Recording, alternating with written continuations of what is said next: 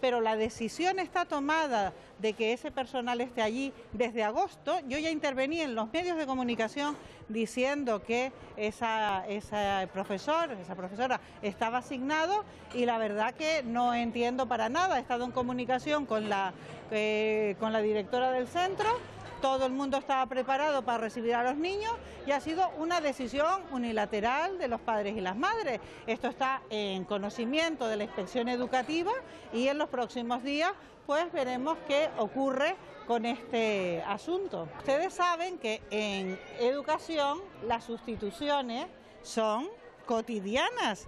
Eh, hay alguien que tiene una baja, hay alguien que tiene un problema y hay profesores volantes, como su nombre indica, que van a donde está la necesidad.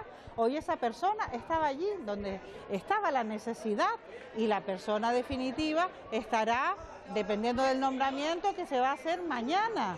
Entonces estará el miércoles una persona. Yo desde luego creo que no hay ningún tipo de motivo para que haya pasado esto y creo que debe haber otros problemas que quizás no está conociendo ni la, ni la inspección educativa, ni esta consejería, ni la opinión pública.